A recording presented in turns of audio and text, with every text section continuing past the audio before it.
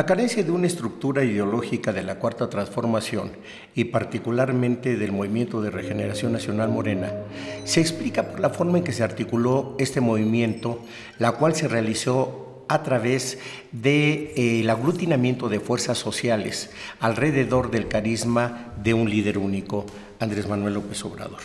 Sin embargo, esta carencia al momento de ser gobierno se empieza a llenar a través de las acciones que el Ejecutivo Federal realiza de manera cotidiana y en los discursos que él mismo pronuncia, ya sea en la plaza pública o en las sesiones mañaneras con las que atiende a los medios de comunicación.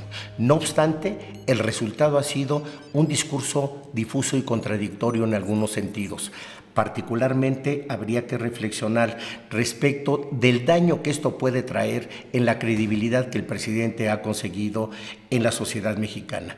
Yo creo que el área de comunicación social del gobierno de la República debería de reflexionar, pero particularmente creo que Morena tiene una tarea pendiente que no ha cubierto. Ojalá que lo realice desde el punto de vista de una capacitación política hacia sus cuadros y no de una propaganda hacia la sociedad. Me parece que este es un reto que Morena tendrá que enfrentar. ¿Qué le parece a usted?